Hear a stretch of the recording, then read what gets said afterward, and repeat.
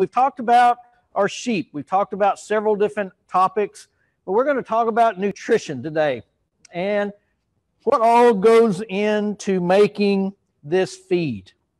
What is in this feed? Is there a difference between feeds? I've got three different samples right here.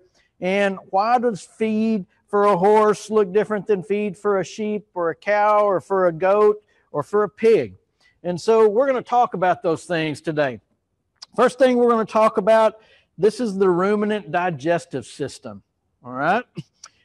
Monogastrics are humans and pigs. Sheep, goats, cattle are ruminants. That means they have a four compartmentalized stomach. And so when we start talking about it, you can see this little tube right here. This is the esophagus. The first part comes in here to the reticulum. It's kind of a holding area. And then we have the rumen here on this whole compartment. And so I'm going to turn it around and you can see the outline. All this whole area is all the rumen. It makes up about 70% of the ruminant digestive system. And in that rumen is very important because this is where everything happens. Okay. What makes it happen? We'll get a question out there. Some of you guys can respond. What makes the ruminant digestive system work? Okay. We're going to come back to that here in just a minute. We'll see what kind of questions we get out here. But as we go through here, we're going to talk about how the ruminant digestive system works from the time I feed this feed to my lamb. How long until it comes out as lamb pellets out the other end? Okay.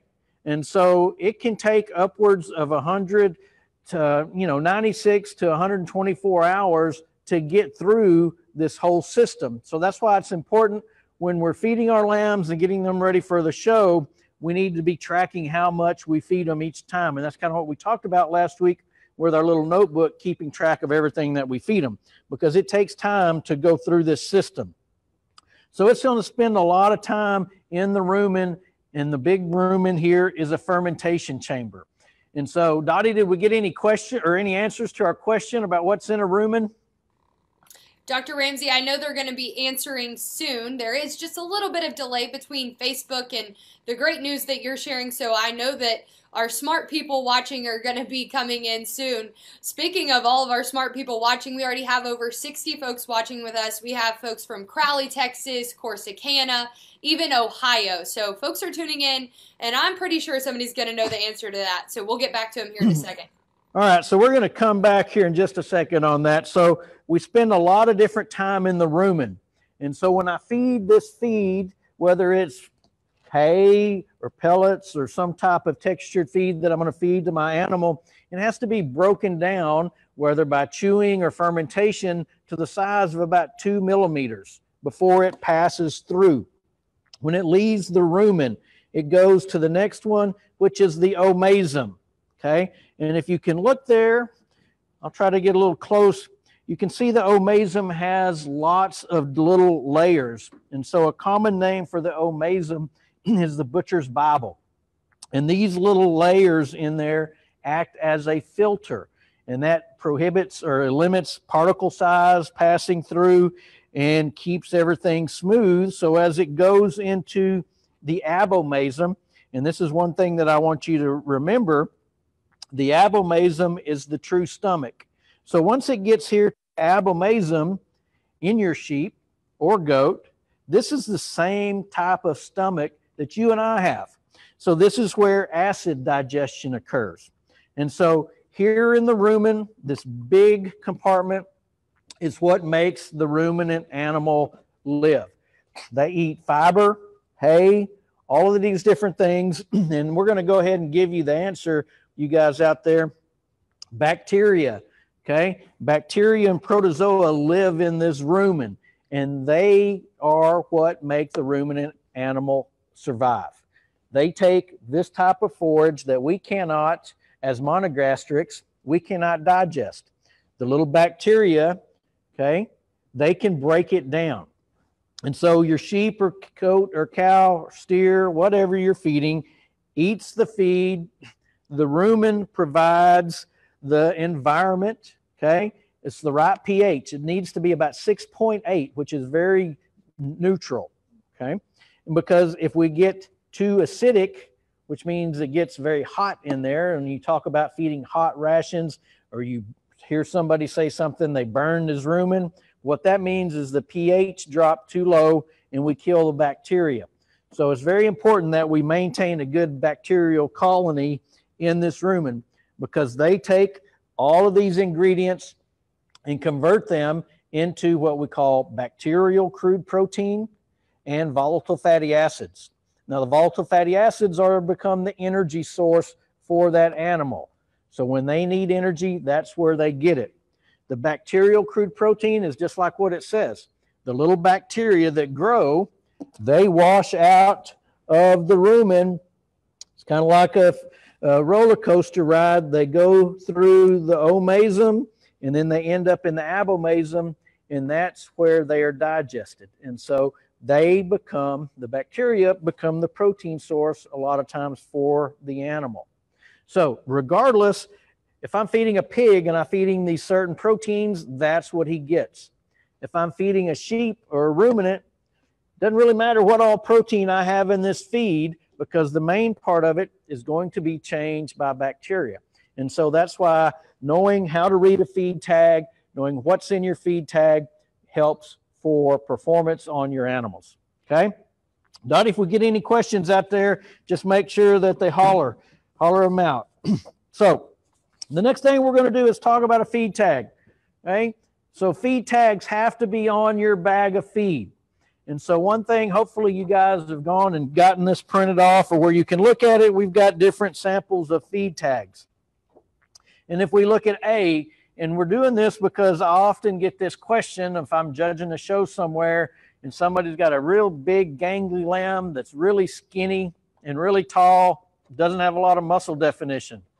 A lot of times I'll ask them, How much are you feeding this animal?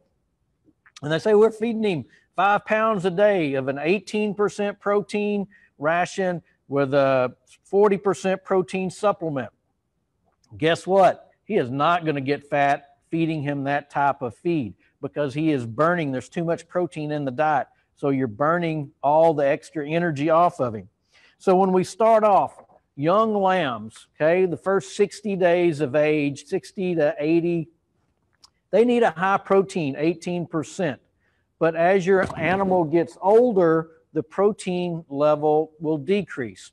And so most show feeds are going to run anywhere in that 15 to 16% protein. And so that's an important thing to know. If I'm trying to get my animal fat, okay, I may decrease the amount of protein or I want to increase the amount of fat in his diet.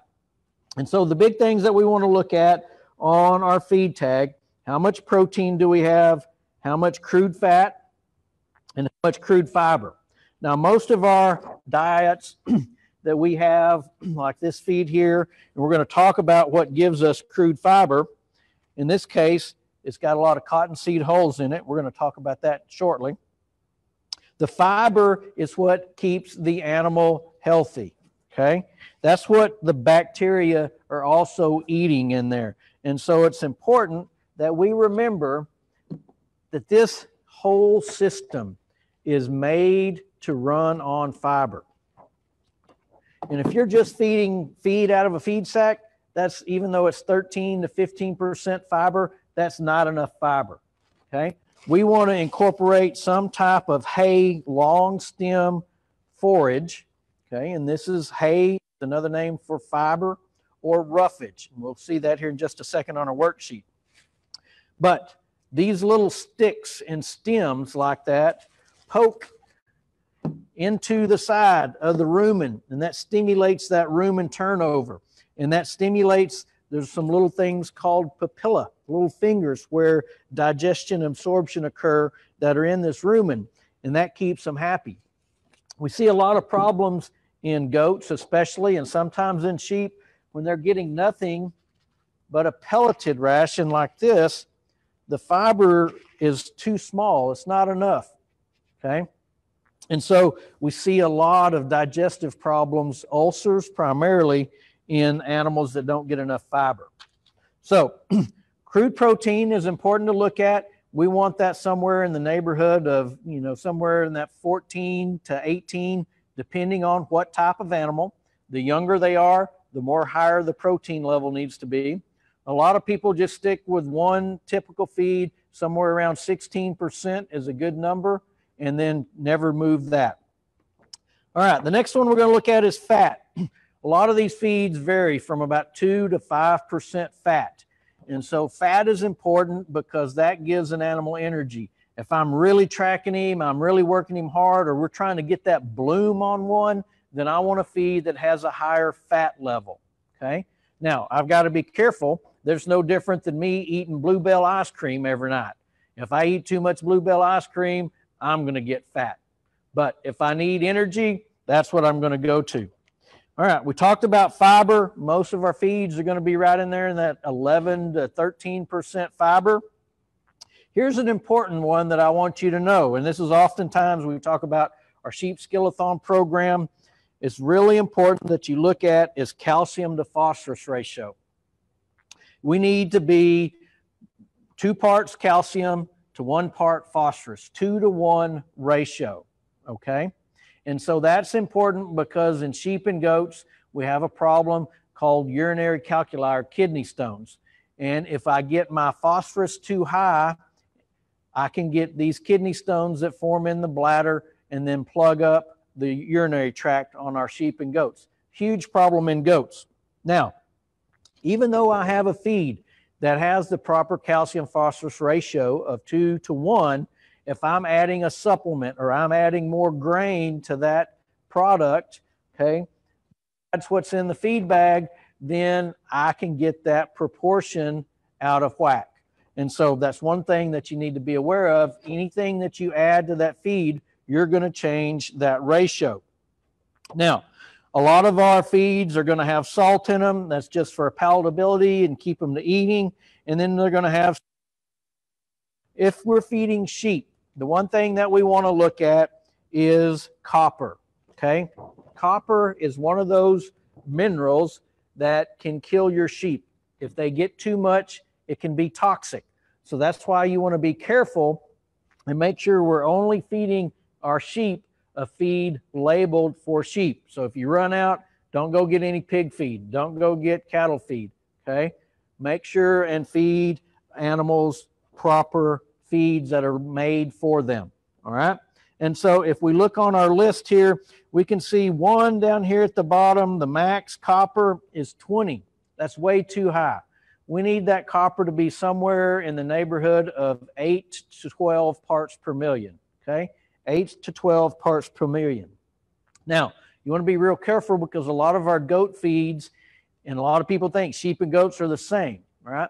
but a lot of our goat feeds have higher copper levels. And so we've seen several occasions I'm feeding that lamb goat feed that's high copper level, and then that lamb has a copper toxicity problem. All right. So those are the parts of the feed tag protein, fat, fiber, calcium phosphorus ratio. And so as we go through here, we got any questions out there? We've got one question uh, that we've got come in. Is what is the relationship between fat in the feed and volatile fatty acids? That's a good question. Volatile fatty acids are energy. We talked about that earlier. And so, one thing that we get higher fat, that produces more volatile fatty acids, which is higher energy level for your animals. And so, that's one thing to look at if you're trying to put more bloom on them. Okay you want to feed a feed that's going to be higher in fat. All right. The other thing that volatile fatty acids were made from is corn. And so as we look through here, let's talk about now our ingredients. Now that we've talked about what's on the feed level, somebody tell me something that's in their feed. As we look out there, I'm going to slip around here on the other side of the table. And so one of the big components of most everybody's feed is going to be corn. Now, our corn starts off like this, okay? Whole corn. What is the problem with that? The, well, the problem is that is hard to digest. And so a lot of feed companies, what they're going to do is they're going to process that corn. And so we have different types of products. Here we have some cracked corn. Okay. And that's mainly just like what it said. It's been run through rollers that has cracked that kernel. All right. And why do we do that? Because if you look here on the inside and you can see the little white, okay, that is the starch. And so another name for corn is a grain. And a grain is also called a concentrate. Okay. A grain is a concentrate. This is what the bacteria break down and make volatile fatty acids for energy. We also get a little bit of protein from corn, but not much. Our grains are where we're getting our energy. Okay, so write that down, look down there. Another word for grain is concentrate. And then we also have in a lot of feeds flake corn. Okay, and so is there a difference in crack corn versus flake corn? Well, if you're feeding a couple show lambs, no, there's not.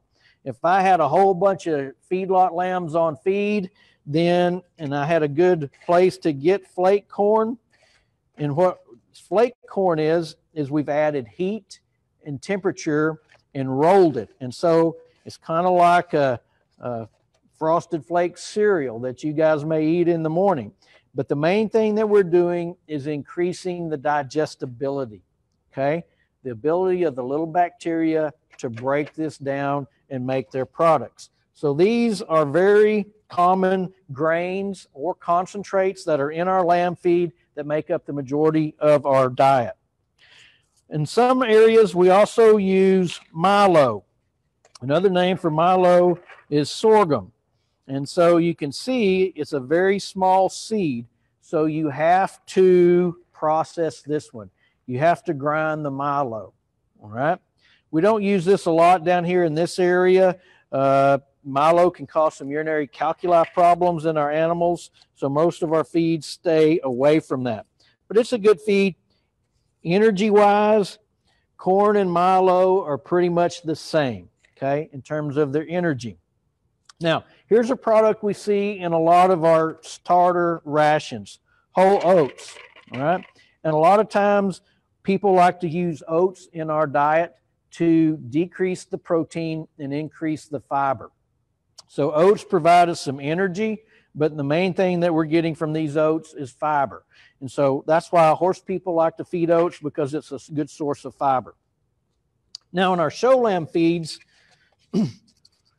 we like to use barley. And so this barley has been processed so it is digestible. Otherwise, it would look a whole lot like these oats okay, until it was processed. Okay. So you can see it's been rolled. This is rolled barley. And barley is a very good energy source. It's much like corn. The difference between the two is barley gives our animals a harder finish. And so, as lamb exhibitors, we want our lambs to be hard. And so, barley puts a fat on that typically is hard. And so most of these products are somewhere around 10% protein. And what did we say our lamb feeds need to be? Somewhere in that 15 to 18% protein, depending on the age. All right. So, how do we get our protein levels up? Well, this is where we come into our protein sources and some very common protein sources that we're going to use in our lamb feeds are cottonseed meal, and we got a little example of this. Cottonseed meal come from? Okay. Well, in Texas, we grow a lot of cotton. Okay. And so cottonseed meal is a byproduct. And I know you hear a lot of commercials that talk about byproducts are bad. Well, I'm here to tell you that byproducts are good. It makes us more efficient.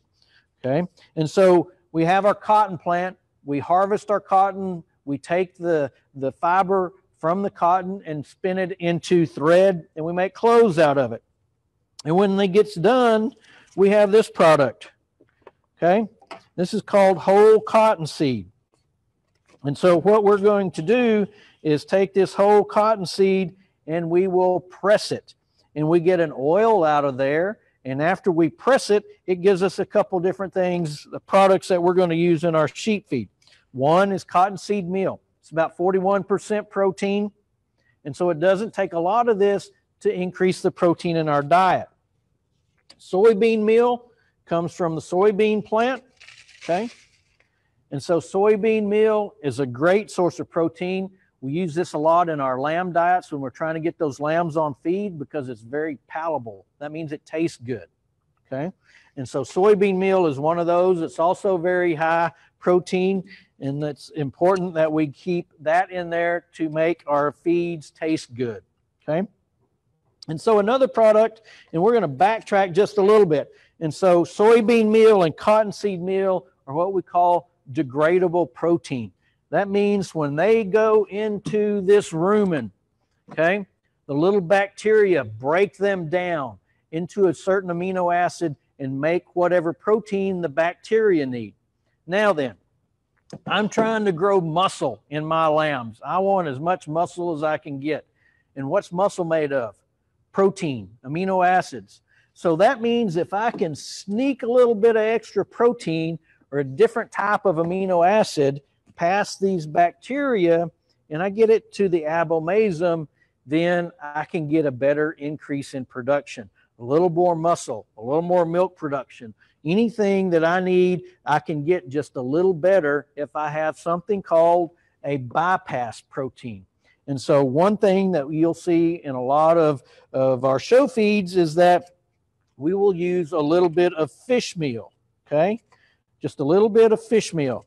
And so fish meal is very, very high in protein. So it doesn't take a lot of this. and we'll only use a very small amount in your feed. Number one, if you've ever smelled fish meal, you can tell real fast what it is. It's very fishy. If you've got a pet fish, it's pretty much what you feed your pet fish.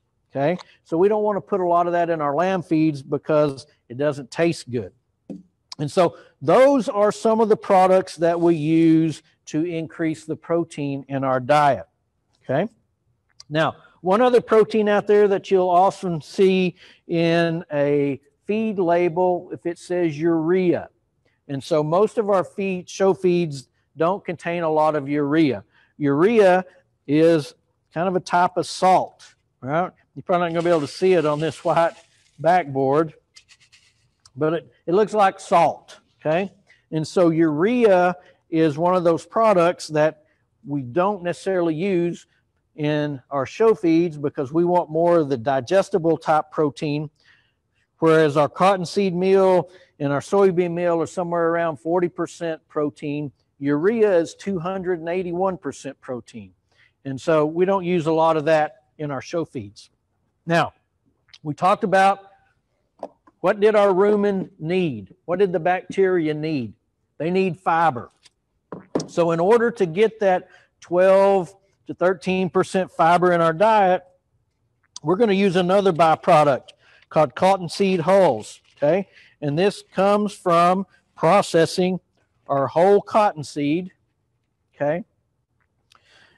We get our cottonseed hulls, and this has the the seed head or seed kernel shell, if you will, and the fiber. And so this provides a very, very good fiber source for our animals. And so in our sheep and goat diets, have a lot of cottonseed hulls in it that work very good.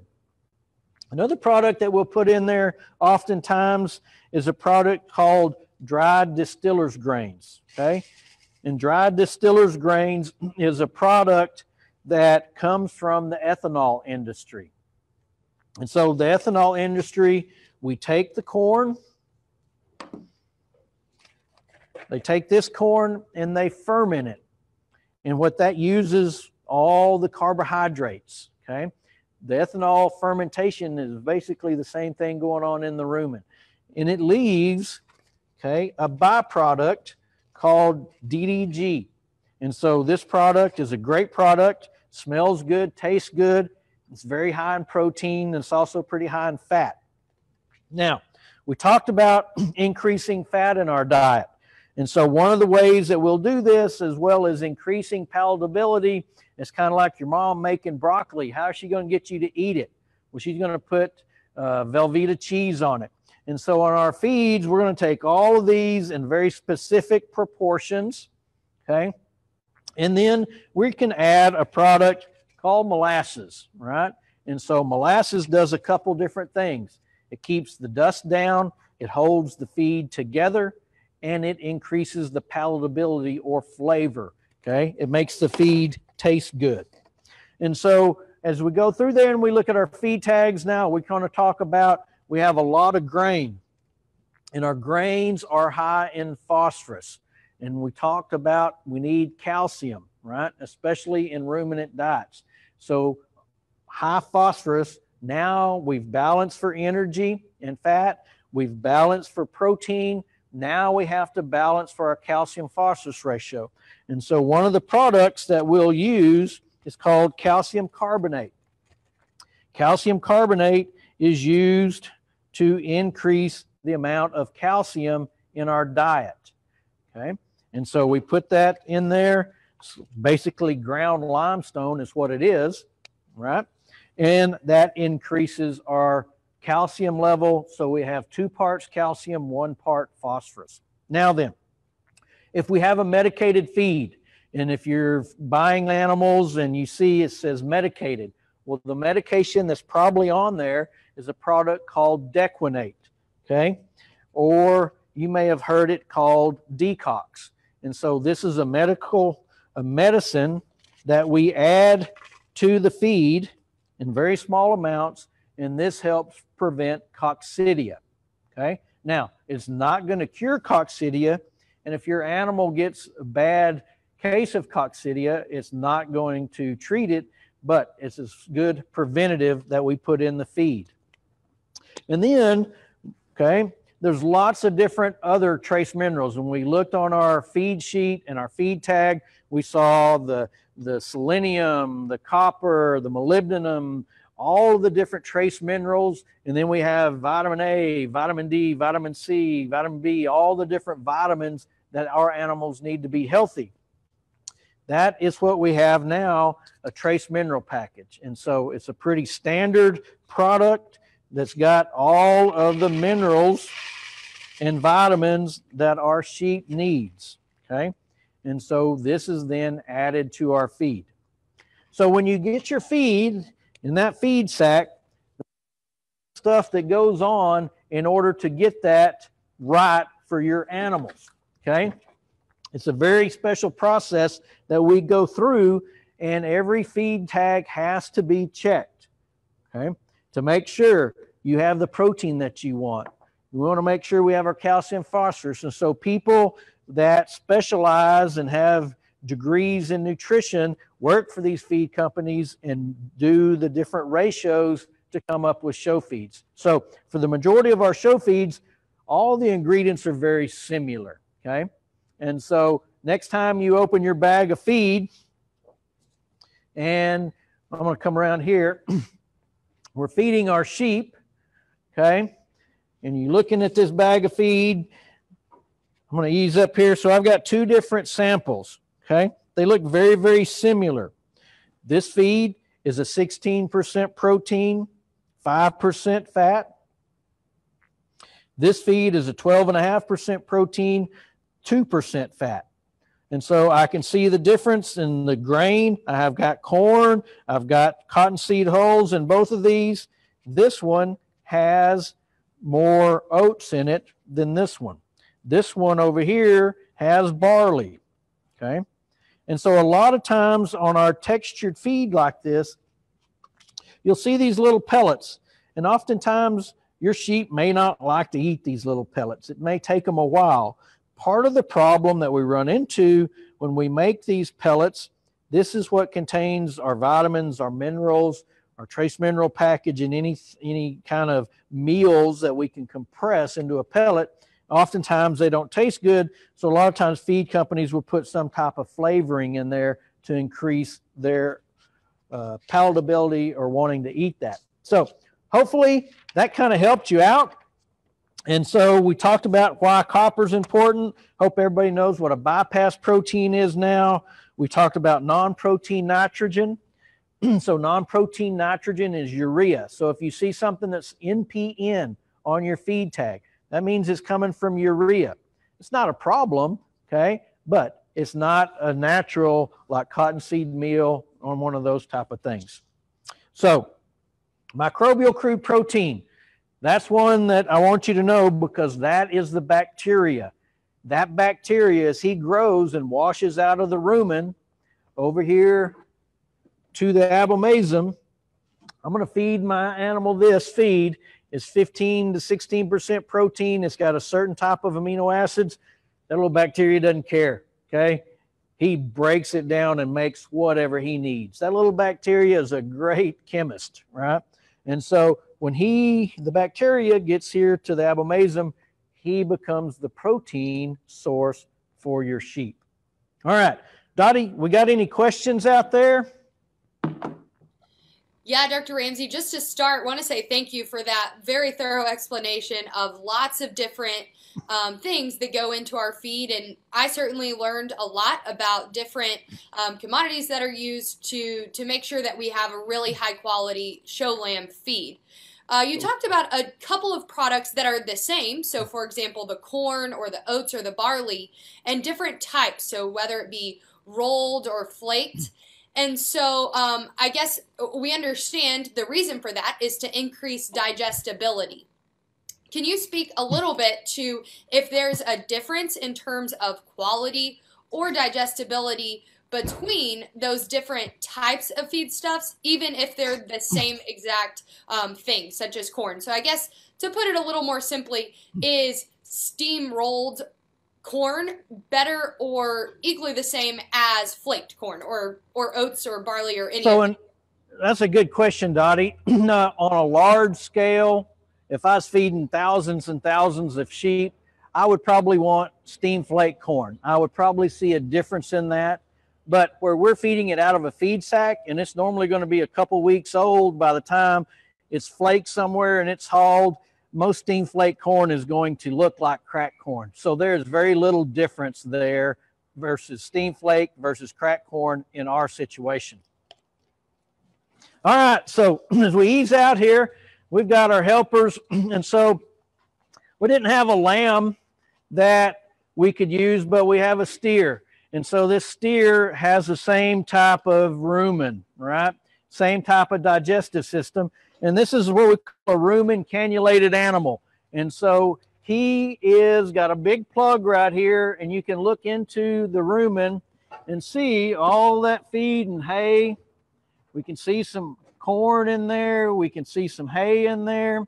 And so what we're going to do is it's not going to be able to see a whole lot. Get it in there a little closer.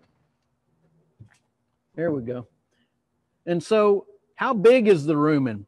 Well, on this steer, this rumen is probably holds about 55 gallons worth of feed, hay, and water, right? And so what we're going to do now is we're going to reach in there and get a little bit of this rumen fluid. There you go. You just need to give a book. And so you can tell right here this is what we call the grass mat that it kind of floats up on top. But we want something with a little juice in it. Okay. And so here's what we get some good rumen juice coming out of there. It's got a very sweet, strong smell to it. Y'all see that? So that's rumen fluid. That contains the bacteria. And so we're going to go back in there now. Everybody see that? This guy's pretty full. You imagine what a 55 gallon drum, that's good. They can look in there. We're to peek in there one more time. Y'all like that? All right, so we're to go back in now, Dottie. Anybody got any questions as we're traveling? You might go ahead and, and show, let's show them what bacteria look like. Yeah, sounds good, Dr. Ramsey. You uh, you promised that we were going to get down and dirty and in the rumen, and you were not kidding. So now we're going to go ahead and, and, show uh, kind of what goes on in there and what it looks like as you get set up on uh, your microscope, and hopefully we'll see something similar. Um, but just for folks to start getting their minds around it, let's see what um, inside the rumen is going on. Put it over here where I can see it. All right, so we've got this little video that we recorded earlier that you can see all the different bacteria. So that's what's going on inside your animal. Okay? That's what's making him survive. And so we're going to look here. Y'all just keep watching that.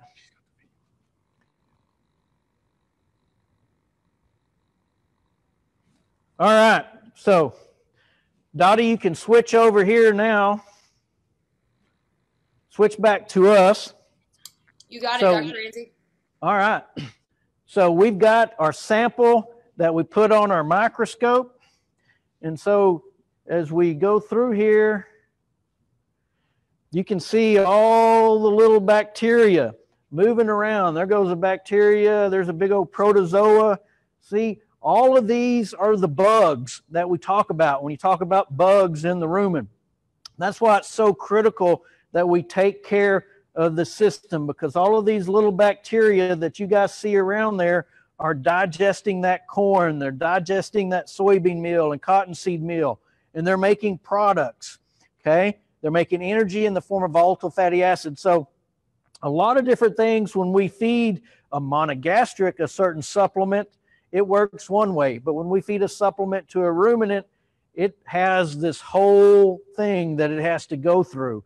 And a lot of things, when I feed it to a ruminant animal, it doesn't come out the same way that it goes in because these little bacteria are what change them. Right? now, here's a question Can your sheep live without these bacteria? No, he cannot live without these bacteria. So it's super important. Anytime your animal gets sick and you have to treat him with an antibiotic, what antibiotics kill? Bacteria, right? And so it's always a good thing to go in and give him some type of probiotics. Okay. When you start drenching your animal, you want to be careful and start it at a very low rate because what has to happen, these guys, that sheep maybe has been outside eating grass. And so there's more of these little fiber digesting bacteria that are swimming around. And so as we go through here and look, it takes time. Look at this big guy plowing here. Okay. He looks like a tank going through there. You know, see him? Oh, look at this one. There's another big, great big one right here. And so all of these little bacteria, here comes one blowing through there. You can see him taking up all these little particles of feed. Okay. And so if it's a piece of grain, he's making volatile fatty acids. That's what gives energy to your sheep. If he takes some cottonseed meal, a soybean meal, he breaks that down into amino acids and makes them into his body. He incorporates that into his body. And then when he washes out and he gets down here to the abomasum, okay, that's where he is digested. That becomes the protein source for your sheep, okay? Unless we put a little bypass protein in there, such as fish meal or feather meal, those type of products, that this little bacteria, he can't break them down. And so they pass through here and get to the abomasum. So that may be one thing look for in your feed that it does it have some bypass proteins. Okay. So as we wrap up, I hope you guys enjoyed that. We got any questions? So as you think about those different things, it's always important. if you don't have a good rumen environment, you don't have good bugs, okay, in that rumen, your sheep is not going to do good. He's not going to perform well. And so the best thing to do is protect that rumen. And that when you start drenching, and one of the things when you start drenching, uh, I'll use Dyne for example. It's a great product. It's super high fat, but if I get too much of that in there, what happens? These little bacteria go crazy. It's just like you getting a whole access to cake and ice cream. It's real good for a while, but then after a while, guess what? You're going to have a bad stomach ache. But in your situation, you get over it. Your sheep, if he gets too much fat, too much feed all at once, right? He doesn't have a stomach like you and I. He has this rumen. And what happens is those little bacteria do their job, they do it too good. And our pH goes from 6.8 down to 5.2. And when that happens, it basically kills the bacteria. that's called acidosis. And if it's bad enough and you don't catch it in time and treat him, he will die. Okay? And so the rumen is a great animal. They're built to use forages. So it's very important that we keep a good fiber in their in their diet. And so on our show lambs, you know, just a good handful of hay every day, twice a day. Okay, at least once a day. That much not going to give him a big belly, and it will keep him much healthier and keep that rumen and these little bacteria, right, keep them happy. Because those bacteria are what make the B vitamins, they make energy, they become protein, and so without them, our animals don't survive. All right. Excellent. Thanks, Dr. Ramsey. This was certainly interesting and, and really a treat to see under the microscope of an angle of things that we don't get to see very often. So thanks for taking us there. We do have quite a bit of questions coming in, and I'm going to start okay. feeding those your way. Real quick, people are wondering, you know, they joined us midway and they're wondering if we have these videos archived somewhere. And I just want to let them know that the answer is yes. We have recorded every one of our videos together so far. We've talked about a wide range of things from, you know, selection of, of lambs to um, showmanship, feed nutrition, uh, health and maintenance, uh, the whole whole gamut of topics we've covered, and all of those have been recorded and they're posted online at our website at www.texasyouthlivestock.com. Also, you could find all of them right here on our Facebook page. So I want to remind and invite everybody to go ahead and like and follow that page so that you can see all of our past videos, and then you'd be reminded of anything we're doing in the future, which are going to be some really cool things along the way as well. So just wanted to remind folks of that. Now I have a question for you, Dr. Ramsey. Someone's hmm. wondering, you mentioned that, you know, with the use of antibiotics or different drenches, it can, uh, you know, sometimes mess up that bacteria count or their effectiveness or efficiency inside that rumen. They're wondering that if that does happen, how could you get it started back up? What would be the next steps if something did take a wrong turn along the way? Good, good question, Dottie. And so the first thing that would be good that we talked about was giving that animal a shot of B complex, the B vitamins, because these bacteria are ones that make the B vitamins. Second thing is any type of probiotic. Now, a lot of our higher quality feeds will have probiotics already mixed into them. Okay. And so that would be one thing that you would check on. A probiotic is the bacteria that you're giving it to him. If he's really bad and you really need to jump start him and you've tried the probiotics and it doesn't work, one thing you might do is you may need some assistance from your veterinarian is take a healthy lamb or goat down to your veterinarian and drench them with a little extra water. And then we're going to take a tube and run the tube down and pull some rumen fluid out of the healthy animal just like this. If I had a sick lamb and his rumen wasn't doing good, I would come get me some of this rumen fluid out of another animal and I would drench him with that. Okay. And you can use cow rumen fluid, yes. If they're on, you know, if you've got a show steer or a show heifer, they're going to be on a similar diet. And so, yeah, the big thing that we want to do is get that bacteria back in there. Okay. So probiotics would be the first choice. Or, you know, if you've got somebody, if you live by a packing house and somebody is harvesting a beef or a lamb or a goat, you can harvest some rumen fluid there. Or just pass a tube and siphon some out of them. Good question. All right, thanks, Dr. Ramsey. Uh, it was a great question, and, and we even have some folks commenting on Facebook that this week was especially awesome, and I'd have to agree. Uh, we really took an interesting look here at a different side of things. But going back to the feed and you know the normal feed schedule and what we do, we have a question regarding the day or week of a show. Would your feeding schedule or what you're feeding look different for that type of preparation for show? So if I'm feeding, the only thing that is going to change is probably the amount of feed that I'm feeding. Time, everything else is going to be pretty much the same. So from about a, a week or 10 days out before the show, I'm tracking the weights on those lambs. And so if you reference our last week, we have that card that you can use so you can track weights. I'm going to start tracking weights on that lamb and I'm looking at his fill. How much fill does he have? And so remember, where does fill come from? Well, on a ruminant animal, most of that fill is coming from the rumen in his digestive system. And from the time I feed this sheep, okay, this feed, and until it comes out as sheep pellets and he poops, okay, it's going to be somewhere between 96 and 124 hours before it gets through there. And so what I want to do is monitor his fill level. If I'm trying to pull some weight off, I'm probably going to start backing him down a little bit.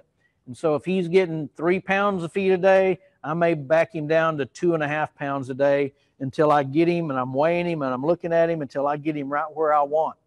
And normally, when I get him where I want, then he eats that same amount from then until he goes into the show ring. And so I get them ready and have them ready before we even go on the trailer going to the show. When we get to the show, I can pretty much tell you what he's going to weigh.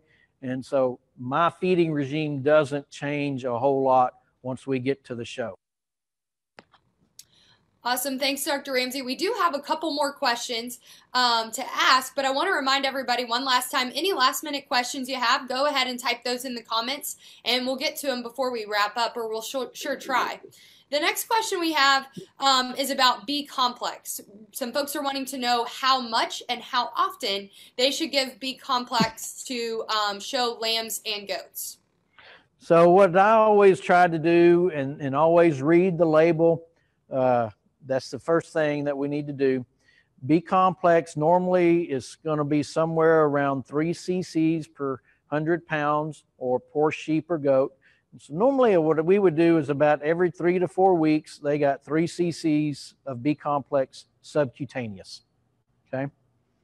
So even though they're getting all the hay, they're getting everything, is a feel good thing for me, right? because complex was the thiamine.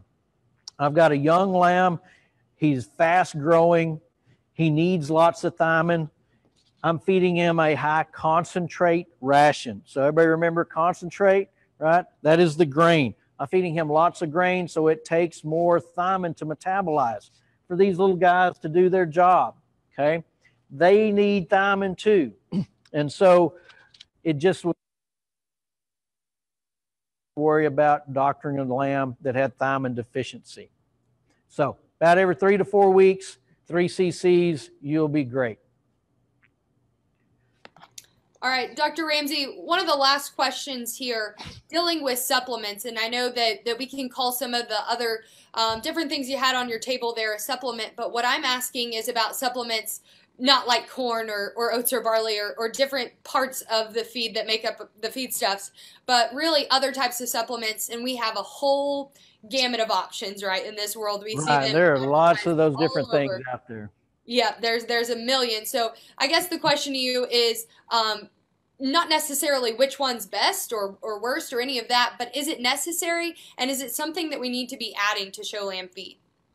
So, you know, everybody's got their own opinion of that. and so part of my problem is I've spent too much time studying these little bugs right here, and I know what goes on in the rumen. Uh, a lot of the supplements out there were developed for monogastrics. Okay, they do a good job in humans and pigs and horses, but when we put them in a ruminant animal and they have to go in this ruminant environment and they come up against these guys, they get broken down and changed into something that probably doesn't really do us a lot of good. Now, there's probably some supplements out there that work. It's one of those deals. If you think it works, then definitely use it. Okay, but try it and see how you like it. See if you can see a big difference.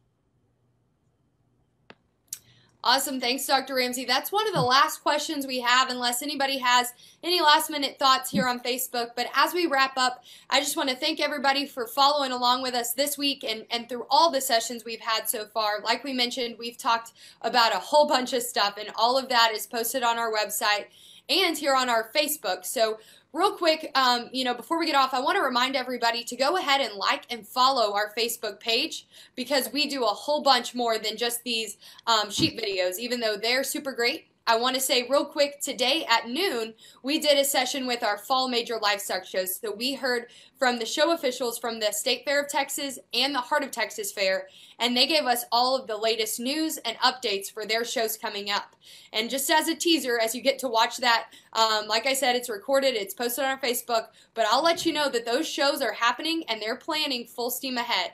Of course, we know that with everything else in, in the season we're in, it's going to look a little bit different, but just want you to know that those folks are committed to providing a great experience for our young people, and you absolutely should be trucking forward with your market lamb, market goat, all of your all of your the species projects because we are really looking forward to a great fall, and you're going to find all that and so much more on our Facebook page.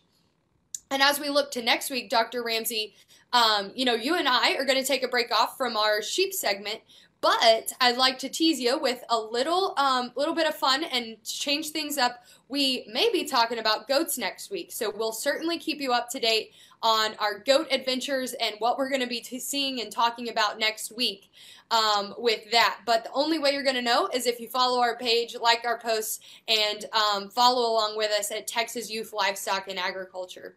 So, with that, Dr. Ramsey, everybody's saying it was a great week, and I agree. And that's all thanks to you setting up a great session, taking us right inside the room and talking about feed, nutrition, Hmm. and all the things that we're interested in. So, um, another great week.